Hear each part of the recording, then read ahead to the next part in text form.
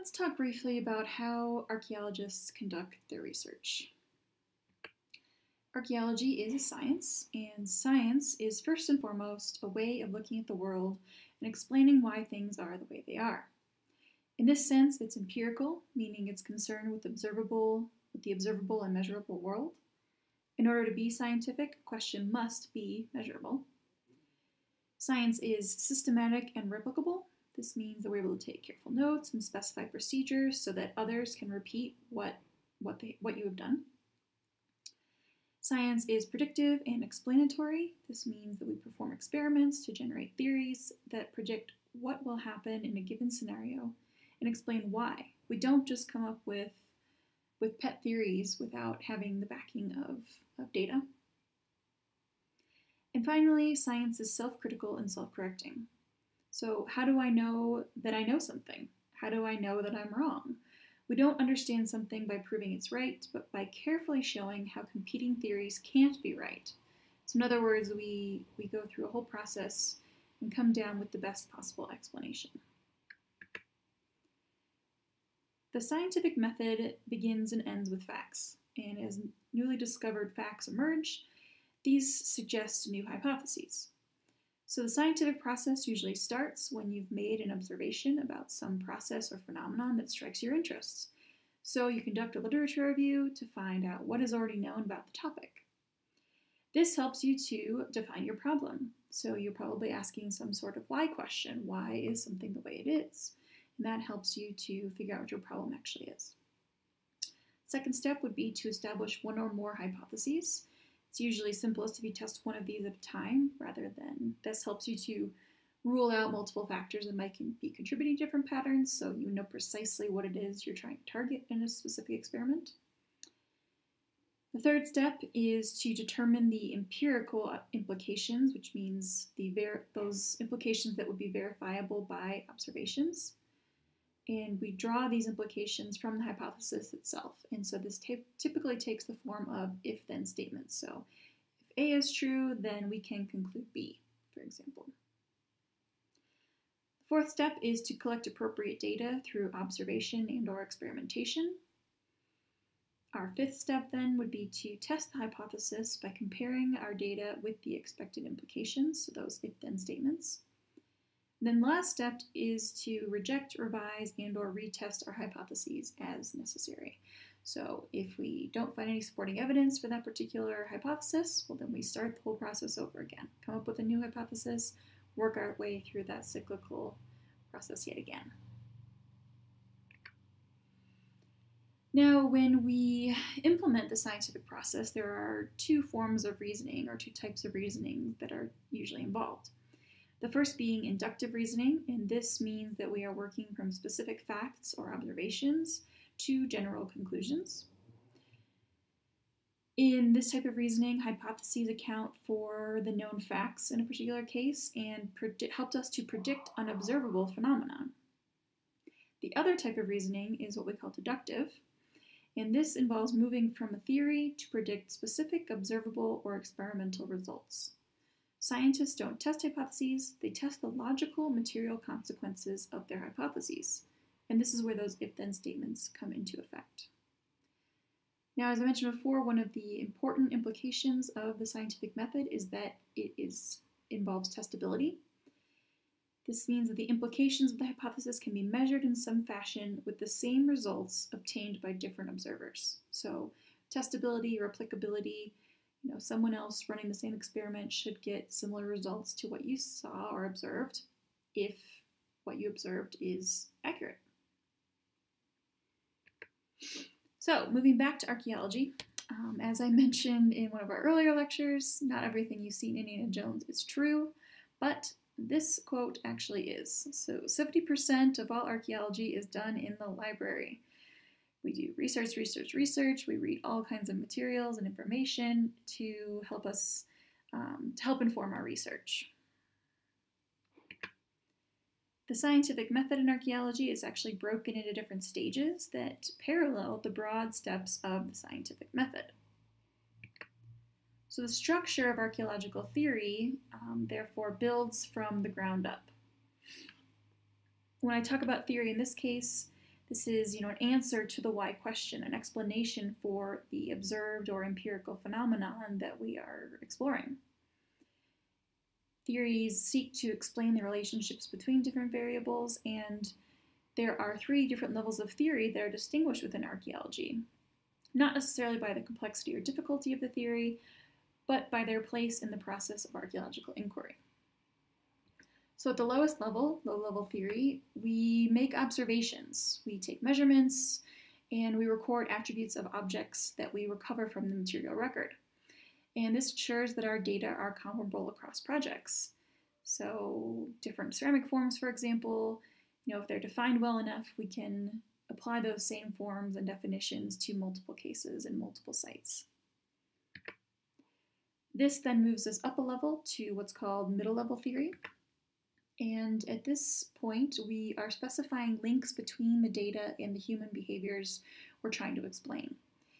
This is when we tend to create those sort of if-then statements. So if I see this in my data, then I can conclude that this is the behavior that would have caused that patterning to, to form.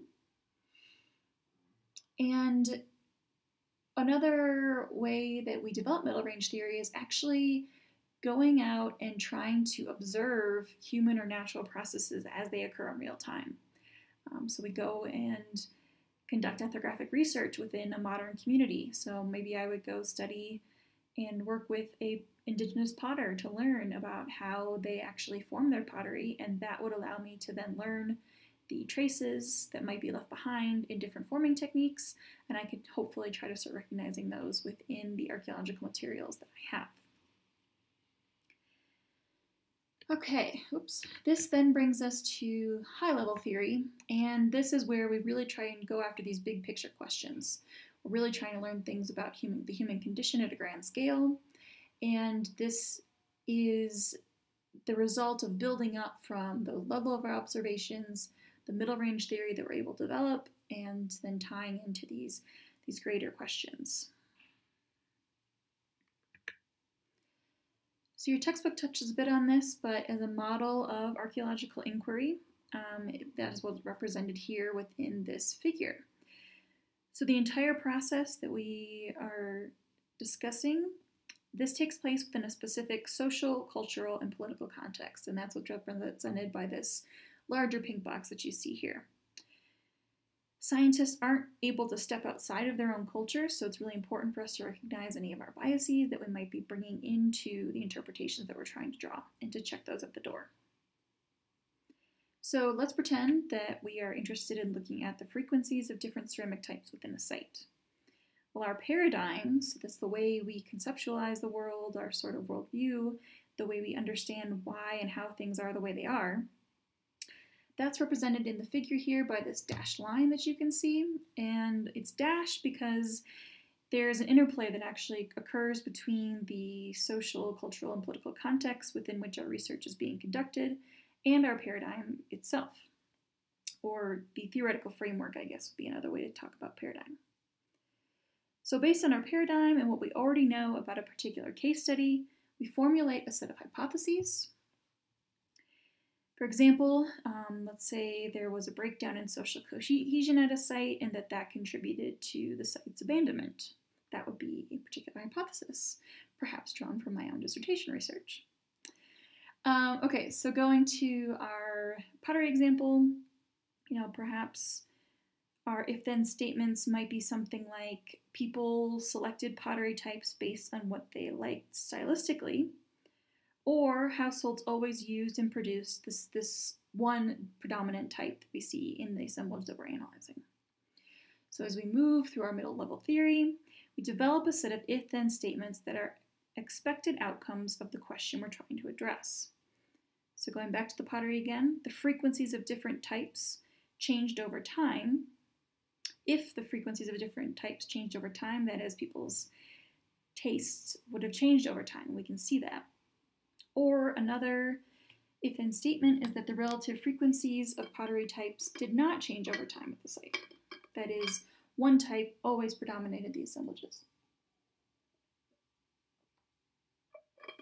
We conduct our data collection. So we go out, we excavate a sample from the site in question, classify the pottery into types, count the number of each type, compare the observed data to our expectations to see which hypothesis is supported or refuted. And at this stage, it's important to remember that we're only capturing a snapshot in time from a specific area within the site. So our data are not providing us with the full picture of the real past. So we have to make careful propositions about what we're able to learn from our data and the interpretations that we draw. Most importantly, we need to share our findings with the public through formal presentations at conferences and in public outreach forums. This provides feedback from other experts in the field, which allows us to then reevaluate our hypotheses, so that's that reject, revise, or retest stage of the scientific method. We can make any necessary changes to our hypotheses, or decide to test a new hypothesis and begin this whole process over again. a few more words briefly on paradigms in archaeology. There have been changes in the predominant way we understand how the world works and how that applies to archaeological research over time. And I don't really want you to concern yourself too much with understanding the, you know, the specific details of each of these different paradigms, but just be aware that our conceptualizations have changed over time within the field and very likely will still continue to. And this is the case in any kind of scientific discipline. Okay, so in your reading for this module, there is a section that talks about something called the mound builder myth. And I want you to read that section carefully, and I want you to try and identify for yourself the hypothesis, three if then statements related to that hypothesis, two ways that data were collected and what the data actually were, and then evaluate that hypothesis that you were able to identify using the data, which um, which of the if then statements seems to be supported most by the evidence. So go ahead, pause this, this lecture now, go take a look at that, and come back when you're done. All right, well, I hope that you, um, you took my advice and went ahead and did that and are now back. Welcome back. So let's take a look at the mound builder myth. It's my hope that the hypothesis that you were able to identify is that American Indians are not the descendants of the mound builders. That was the thinking at that time. These if then statements, therefore, the testable expectations we have, would be first that if American Indians do not know anything about mound, mound building, then there should be no explorer accounts of American Indians building mounds.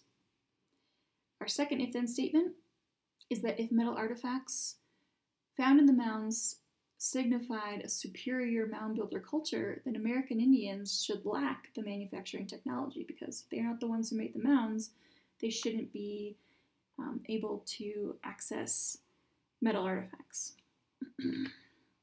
so the researchers went out, conducted their data collection from 2,000 sites in 21 different states, which they summarized in, you know, just a short little 700-page report. What they found were that reports by Spanish and French explorers described mound construction and use by American Indians. So already we're seeing one piece of information that reflects back on our testable hypotheses, or sorry, testable expectations. Another form of data that they found was that native copper in the Great Lakes region didn't actually require technology um, for smelting in order to be shaped into stone hammers. So this means that uh, American Indians did in fact have uh, metallurgy technology that didn't involve smelting. So, how does this information then reflect back on our evaluation of our hypothesis? Well, the evidence suggests that in fact, American Indians could and likely did construct the mounds that fascinated early American archaeologists. So, we have refuted our hypothesis in this case and concluded that American Indians are actually the descendants, likely to be the descendants of the mound builder culture. Okay, the one last bit for this module then is your first summary slash discussion of the semester. We're going to have 10 of these throughout the semester. Um, sometimes I will be asking you to summarize and discuss what was being said by the author in a discussion board, um, and a few other times it'll just be um, um, a matter of you summarizing the argument being made and just submitting that without discussing it. So for the first discussion summary, You're going to read and assess the argument that's being made in the What Does It Mean to Me box in Chapter 2. And I want you to, to think about it. Do you agree with what the author is saying? Why or why not? You are responsible then for posting an original response um, in the form of a short summary of the argument that was being made and explaining your opinion on the issue. Be sure to take a side. Um, think critically about it, incorporate any information or data from the course materials that support your position. Paraphrasing is allowed, but um, you should be using proper citations, keep that in mind. After posting your original response, I want you to then read through the posts of your classmates and respond to at least one other post to receive full credit for participating in the discussion. Have fun,